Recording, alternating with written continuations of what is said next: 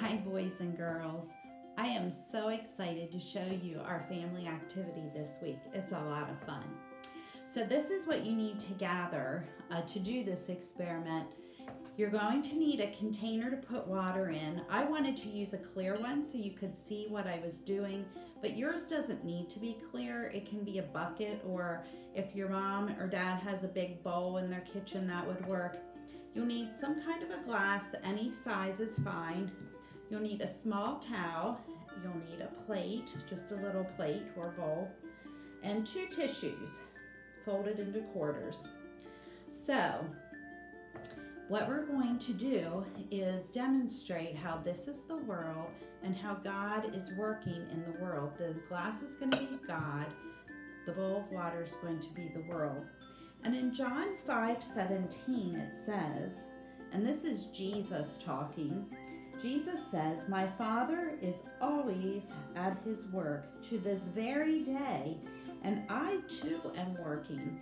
And that's true. If you got a chance to listen to the sermon, people told stories about how they saw God at work.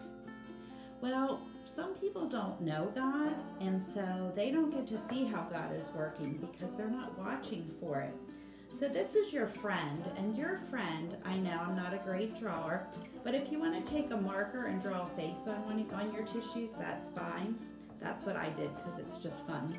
So this is your friend, and as they go into the world with all the problems of the world, oh my, it doesn't always go so well. They have a lot of worries and fear.